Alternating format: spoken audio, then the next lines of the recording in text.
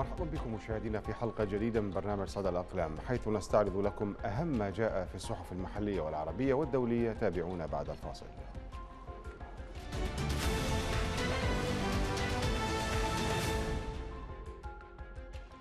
البداية من صحيفة طريق الشعب من مقال بعنوان الإصرار على التخريبات في قانون الأحوال الشخصية للكاتب عمار الربيعي. يسلط الكاتب الضوء على موجة الغضب التي أثارتها التعديلات المقترحة على قانون الأحوال الشخصية العراقي رقم 188 لسنة 59 و900 وألف. يصف هذه التعديلات بأنها محاولة للعودة بالعراق إلى الوراء مضيفا أنها تهدد سيادة القانون وتؤدي إلى صدامات لا يحتاجها البلد. ويناشد الربيعي بضرورة التوجه نحو بناء اقتصاد وطني متعدد المصادر بدل الانشغال بقضايا ثانوية تثير النزاعات. نتابع. إن عدم إخضاع من يعتقد واهما أنه مقدس إلى المحاكم ثغرة كبيرة في سيادة القانون وسيؤدي إلى إتاحة الفرصة تحت هذا النفر لانتهاك حرمة الدولة يجب أن يعرف الجميع أن الكل في مجال عمله وعلى الجميع أن يلتزم القانون وأن يعرف أن الجميع متساوون أمام القانون. فكفى لانتهاك حرمة الناس تحت أي مسمى ويجب التوجه نحو بناء اقتصاد وطني متعدد المصادر زراعية صناعية خدمات سياحة بدل الاقتصار على النفط الذي يتجه إلى انخفاض الطلب عليه بسبب بدائل الطاقة التي يستمر العمل عليها لدى الدول المستهلكة. هذه هي الجوانب الأساسية التي يجب أن تحظى بالاهتمام وليس تعديل قانون مضى على العمل به أكثر من ستين عاما دون إثارة مشاكل. هذه المطالبات بالتعديلات والأمور المماثلة ما هي إلا تعبير عن إفلاس هذا البعض. الذي في ليس في جعبته إلا إثارة الأحداث وجر الناس إلى النزاع والتأزم وإشغالها بأمور ثانوية وإبعادها عن الأمور الأساسية التي يحتاج إليها المواطن بتوفير أساس حياته في أمن وأمان وعيش كريم وخدمات كما لو نحن من أفقر دول العالم.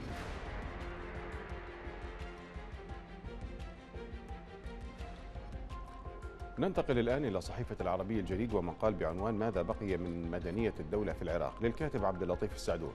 يستعرض الكاتب محاولات الأحزاب الدينية في العراق تقويض الطابع المدني للدولة خاصة من خلال التعديلات المقترحة على قانون الأحوال الشخصية. يؤكد السعدون أن هذه التعديلات تهدد وحدة المجتمع وتنتقص من حقوق المرأة والطفل. ما يعيد العراق إلى الوراء ويهدد بفرض هيمنة العمائم المزيفة على حساب الدولة المدنية. نتابع.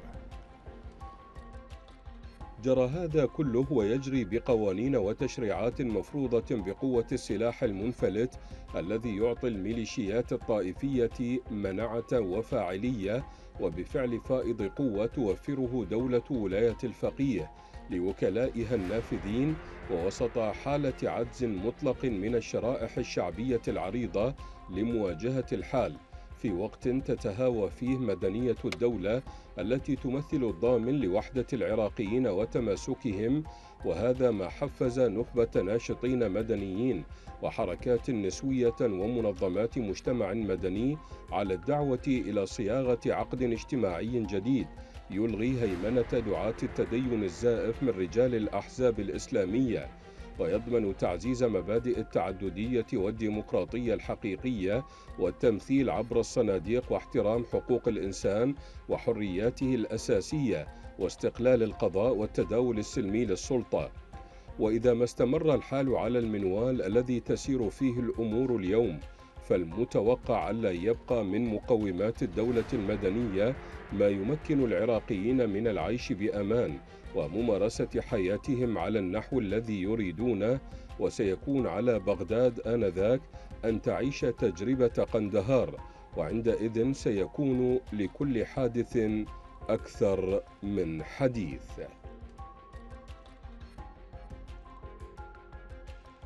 أما في مقال نشره موقع أويل برايس الأمريكي بعنوان مغامرة شركة بي بي النفطية في العراق قد تكون نقطة تحول للغرب في الشرق الأوسط يوضح الخبير الاقتصادي سيمون واتكينز أن توقيع شركتي بي بي وتوتال إنرجيز اتفاقيات للاستثمار في قطاع النفط العراقي يأتي في إطار استغلال الاحتياطيات النفطية الهائلة في العراق ويتناول الكاتب دور هذه الاتفاقيات في إعادة التوازن بين الحكومة المركزية العراقية وحكومة إقليم كردستان في ظل المنافسة الشديدة مع الشركات الصينية والروسية على موارد الطاقة في المنطقة نتابع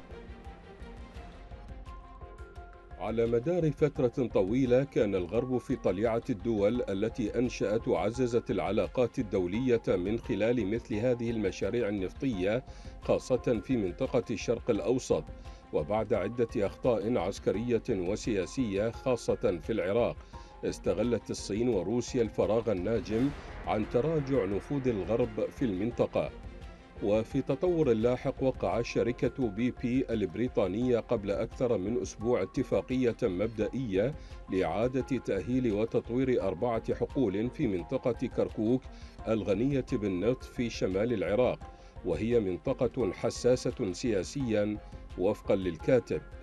وأكد الكاتب أن إيران كانت ولا تزال مصممة على الحفاظ على دورها كأهم لاعب أجنبي في جميع أنحاء العراق. فهي تستمر في ممارسة نفوذ كبير على الجماعات الشيعية التي حكمت أو شغلت مناصب أمنية وحكومية في العراق منذ الغزو الذي قادته الولايات المتحدة والذي أطاح بصدام حسين في ثلاث وألفين. بحسب الكاتب فإن ما يعنيه وجود شركتي توتال إنرجيز وبي بي بالنسبة لكردستان العراق لا يزال غير واضح تماما. فمن جهة قد يشعر الأكراد بالقلق لأن الشركتين السابقتين وهما شركة النفط الإنجليزية الفارسية وشركة النفط الفرنسية كانتا من المساهمين الرئيسيين بنسبة 23.75 لكل منهما في تحالف شركة النفط التركية الذي هيمن على عمليات استكشاف وإنتاج النفط في العراق من سنة 1925 إلى سنة 1961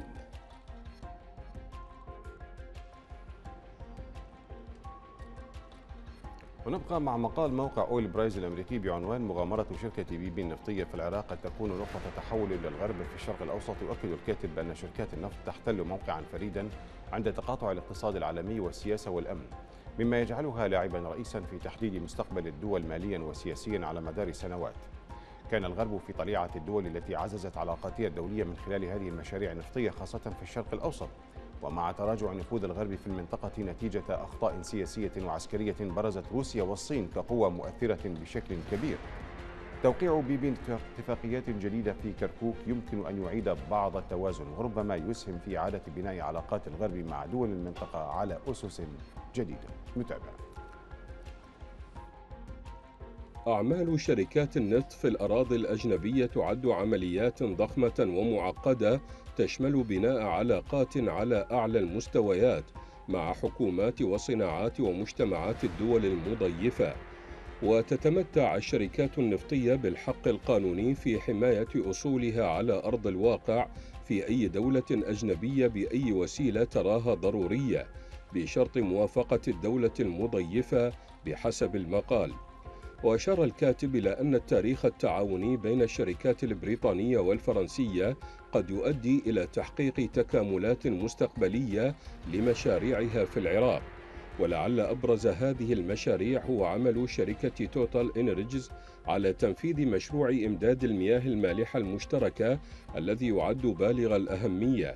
ومن المتوقع أن يبدأ تشغيل المرحلة الأولى من المشروع المحدث في سنة 2028 وأشار الكاتب إلى أن التعاون بين شركتي بي بي وتوتال إنرجيز في هذا المجال يمكن أن يعزز بشكل كبير إنتاج النفط في العراق سواء في الجنوب أو الشمال. ووفقا لما أبرزته وكالة الطاقة الدولية بشكل منفصل فإن مستوى الموارد القابلة للاستخراج في جميع أنحاء العراق بما في ذلك إقليم كردستان قد يصل إلى حوالي 246 مليار برميل من النفط وسوائل الغاز الطبيعي. وفي صحيفة القدس العربي نقرأ مقالا بعنوان مناهضة الفاشية وسقوط الليبرالية الأطلسية للكاتب جلبير الأشقر يتناول المقال المفارقة الكبرى في موقف القوى الأطلسية التي تدعي الدفاع عن القيم الليبرالية والديمقراطية. بينما تتواطأ مع حكومات نازية جديدة في إسرائيل ويرى الكاتب أن هذه الازدواجية تكشف سقوط القناع الليبرالي عن الأيديولوجيا الأطلسية خاصة في سياق التضامن مع السياسات الإسرائيلية تجاه الفلسطينيين. هكذا تمكنت الأيديولوجيا الأطلسية من أن تدعي احتكار تمثيل قيم الحرية السياسية والديمقراطية التي تضمنتها الليبرالية التاريخية. بينما كانت ولا تزال تدوس هذه القيم في الجنوب العالمي. هذا وقد وصلنا اليوم إلى منعطف تاريخي يشهد سقوط قناع الادعاء الليبرالي عن وجه التحالف الأطلسي. وذلك في وقت تلا على الفور بلوغ. ذلك الادعاء ذروة جديدة مع وقوف الحلف المذكور ضد الغزو الروسي لأوكرانيا وزعمه تمثيل القيم الليبرالية في وجه حكم فلاديمير بوتين النيوفاشي.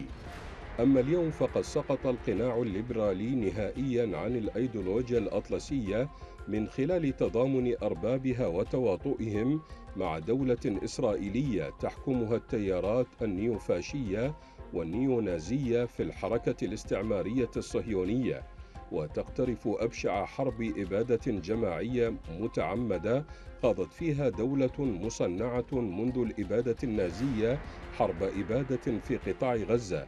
تصحبها ممارسات إزاء الشعب الفلسطيني في الضفة الغربية كما في السجون الإسرائيلية. تنم عن عداء عنصري عنيف للفلسطينيين يحيلهم إلى مرتبة البشر الدونيين على غرار ما فعله النازيون باليهود. إزاء موقف الأطلسيين هذا لم تعد لادعائهم الليبرالي في مناهضة الغزو الروسي لأوكرانيا أي قيمة على الإطلاق مثلما لم تبقى أي قيمة لادعائهم الليبرالي في مناهضة الفاشية والإبادة الجماعية.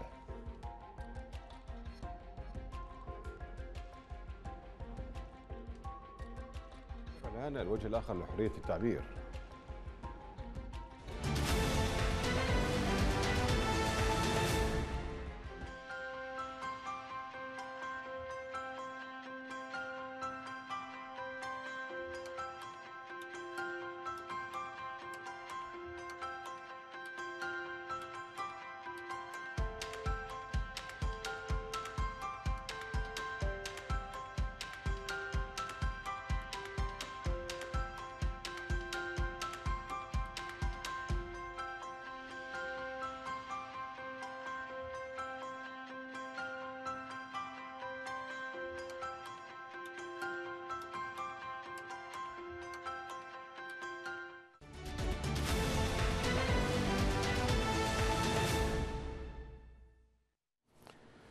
على كرسيه المتحرك وبنصف جسد.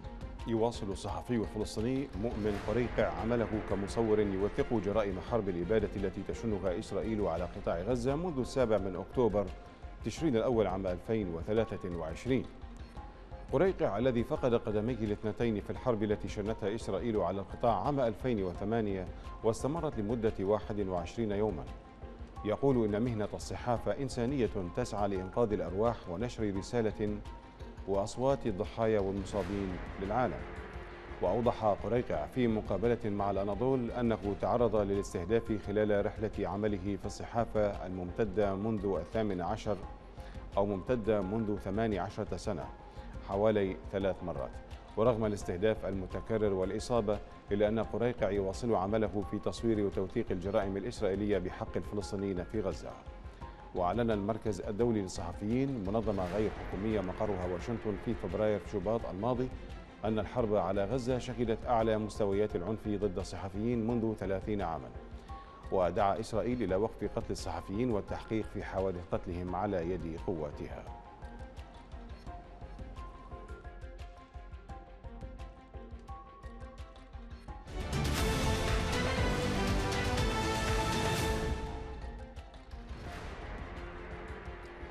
إذا مشاهدينا الكرام نتابع فيديو اليوم.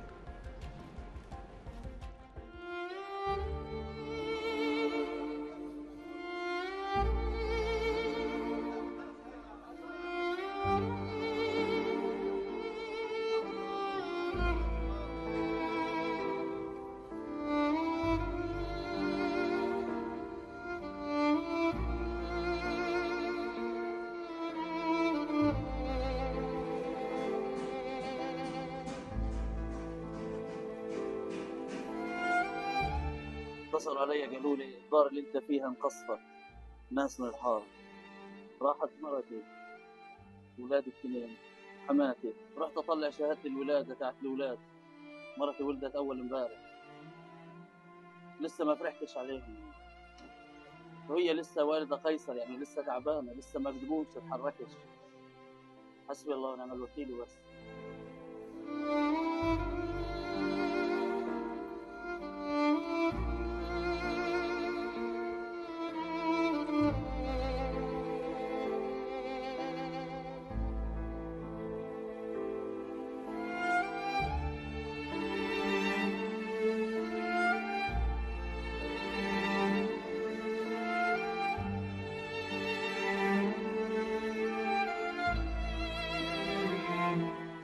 الآن سجلت في في التاريخ البشرية بأن جيش الاحتلال آه، يستهدف الأطفال الرضع التي لا يتجاوز عمر هذين الطفلين أربعة أيام توأم. مع الأم وجدتهما. والآن هؤلاء مسحوا من السجل المدني ولذلك نحن نستنكر مثل هذا العمل الإجرامي بحق المدنيين وما زال مسلسل المجازر مستمر حيث وصل إلى مستشفى شهداء الأقصى أكثر من 12 شهيد.